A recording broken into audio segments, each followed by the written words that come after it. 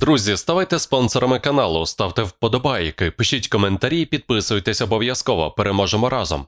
Местные телеграм-каналы РФ отмечают, что ракета могла дать сбой, либо же это был дружественный огонь. В среду 15 февраля в Ивнянском районе Белгородской области Российской Федерации сработала система противовоздушной обороны. Об этом сообщил губернатор Белгородской области Вячеслав Гладков в своем телеграм-канале. В Ивнянском районе системой ПВО была сбита ракета. По предварительным данным пострадавших нет, сообщил Гладков. После того, как в сеть попали снимки обломков сбитой ракеты, местным телеграм-каналам удалось выяснить тип боеприпаса, которым была атакована Белгородская область. Предварительно это Х-35, Х-59, которые стоят на вооружении в основном ВКС РФ. Дала ли она сбой или это был дружественный огонь, неизвестно, сообщил белгородский осведомитель. Авторы телеграм-канала также опубликовали снимки ракет для сравнения с найденными осколками. Об инциденте высказался советник мэра Мариуполя Петр Андрющенко, отметив, что ракеты Х-35, Х-59 стоят на вооружении исключительно у РФ. А потом будут говорить, что сами себя не обстреливают, как-то неудобно получилось. Прокомментировал ситуацию Андрющенко. Напомним, что ночью 16 февраля вооруженные силы РФ осуществили массированный ракетный обстрел территории Украины. В ряді областей була зафіксована робота ПВО. Нагадаємо, у ніч з 3 на 4 лютого в селищі Борисівка Білгородської області розгорілася масштабна пожежа, яка торкнулася нафтобази та промислового підприємства. Про це повідомили місцеві телеграм-канали. За даними деяких каналів, серйозних збитків було завдано Борисівському заводу мостових металоконструкцій, який раніше виробляв металоконструкції для будівництва мосту через Керченську протоку. Очевидці також повідомляють, що на місці події було чутно вибухи, а полум'я можна було побачити за кілька кілометрів від самої нафтобази. Губернатор Білгородської області В'ячеслав Гладков заявив у своєму телеграм-каналі, що Борисівський район обстріляли ЗСУ. Він також згадав про попадання по території цивільного промислового заводу.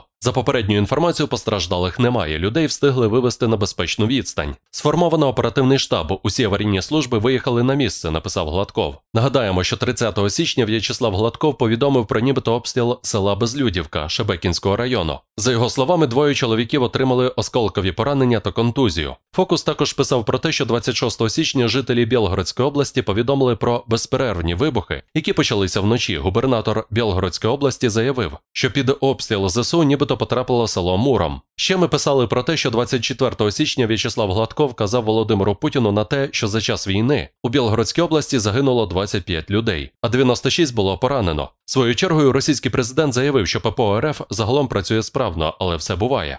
До зустрічі, друзі. Ставайте спонсорами каналу, ставте вподобайки, пишіть коментарі, підписуйтесь обов'язково. Переможемо разом.